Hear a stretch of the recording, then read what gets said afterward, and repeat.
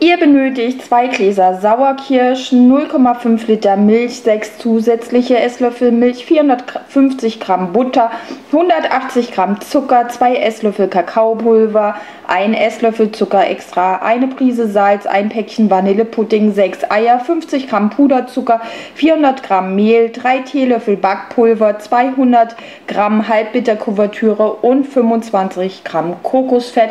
Und dann, wie ihr nach Lust und Laune ähm, wollt, noch Sachen zum Dekorieren und Verzieren. Zunächst einmal müssen wir die Kirschen abtropfen lassen.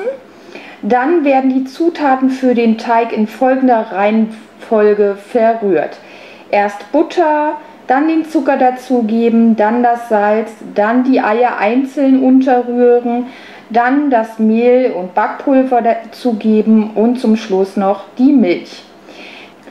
Den Backofen bei Ober- und Unterhitze auf 180 Grad vorheizen. Bei Umluft braucht nicht vorgeheizt werden und bei Umluft reichen 160 Grad.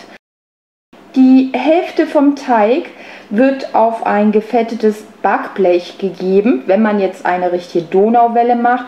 Ich habe es in verschiedene Formen reingegeben, um einfach ja, eine Leseratte formen zu können. Den übrigen Teig äh, verrühren wir mit Kakao und Milch. Der dunkle Teig kommt dann auf den hellen Teig einfach drauf gestrichen. Oben kommen die Kirschen drauf und die werden auch ganz leicht in den Teig eingedrückt. So, der Kuchen kommt dann in den Ofen und muss dort circa 30 Minuten backen. Dann muss der Kuchen kalt werden. Für den Belag wird das Puddingpulver mit einigen Esslöffeln Milch und Zucker verrührt. Die restliche Milch muss aufkochen und das angerührte Pulver gründlich untergemischt werden. Nach der Packungsangabe vom Pudding wird das Ganze gekocht, dann muss er gut abkühlen und dabei müsst ihr ihn auch öfters umrühren, da sich sonst eine Haut bildet. Die Butter und der Puderzucker werden schön cremig verrührt und dann kommt der Pudding löffelweise unter die Masse und wird dann auf den kühlen Teig gestrichen.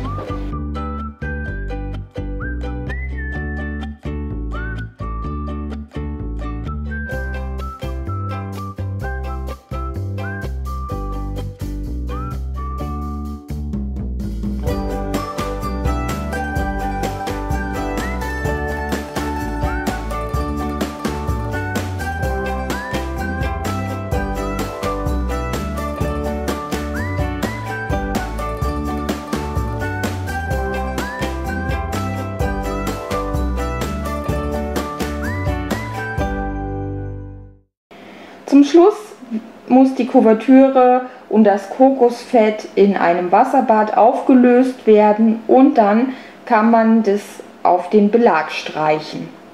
Ja, das war es im Grunde schon. Schmeckt super, super lecker, wenn man äh, die richtigen Zutaten benutzt.